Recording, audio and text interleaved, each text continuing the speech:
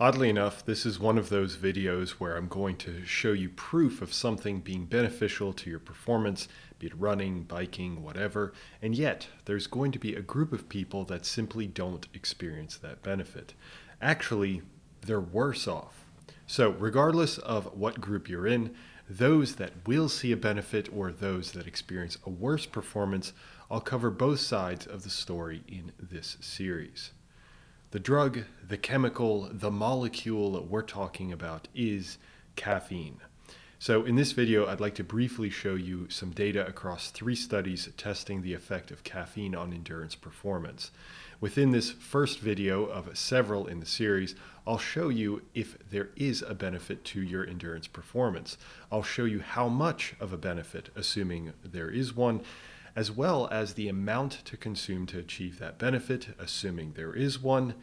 Let's be real, between you and me, I'll go ahead and tell you that there is a benefit for most people, but I like to see the science, not just blindly believe. So let's hop in. As promised, there are three studies that we can use to see the benefits of caffeine on endurance performance. Briefly, all of the studies recruited people with either little or no endurance training experience or were seasoned veterans. So the studies investigated runners, but also cyclists, and I would feel comfortable arguing that this would extend to most endurance activities, so don't feel left out. The researchers had at least two conditions they split the participants into. One was a placebo, wherein they consumed no caffeine but consumed only a sugar pill. The other conditions was a caffeine condition wherein they consumed a caffeine pill. Some of the studies also used varying concentrations of caffeine, but we'll get to that as promised. Ultimately, they end up comparing the performance of these individuals when they are consuming caffeine versus when they're consuming the placebo. So that's a rudimentary breakdown of all three studies.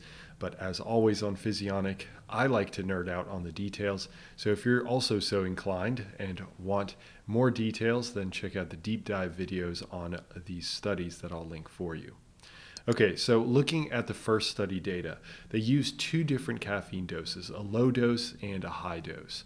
The graph here shows the overall improvement or the seconds shaved off of the non caffeinated time. In this instance, their running time to finish an 8 kilometer race was improved by 164 seconds, or 2 minutes and 44 seconds, when they consumed the lower dose of caffeine. Now, the higher dose also improved their running time, but only by 110 seconds, or 1 minute 50 seconds. You might be wondering why they experience a worse time with more of this wonder molecule circulating through their veins. Well, we'll get to that, don't worry. I'd like to get through the other studies first, if you'll allow me. The other running study showed similar results between more inexperienced runners as well as competitive runners. There was also a similar effect between the groups, so it's not like one group of runners did better in their relative performance improvement, meaning your experience level makes no difference. That said, the biking study also showed an improvement.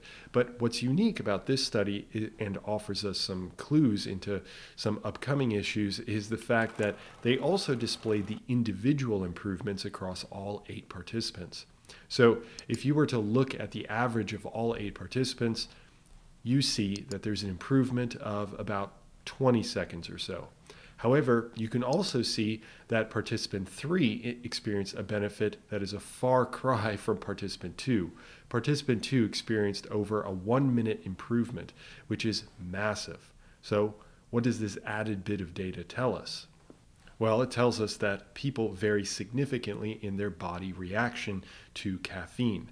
Most people improve some, some people improve a lot, and oddly, although it typically improves performance, for a few people, it may worsen their performance.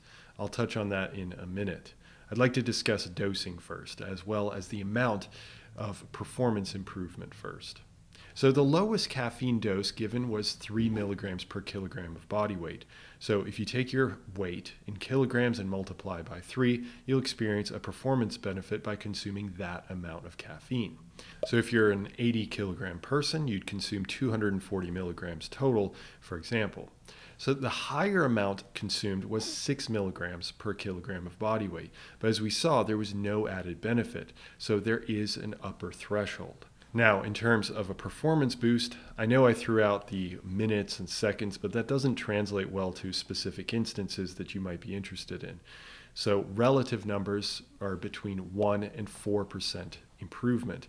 But in future videos, I'll point out added performance improvements for certain individuals. It might not seem like a lot, but for any experienced athlete, you know that is a world of difference. Okay, now to the final elephant in the room. The first thing I mentioned was that some people do not experience a benefit. Beyond that, some people suffer a performance loss when they consume caffeine. So, why is that? Well, for now, I'll say that it has something to do with your liver. That's right, your liver. So, if you're interested in knowing exactly what is going on leading to this odd result, let's discuss in the next video of the series. Speak to you then.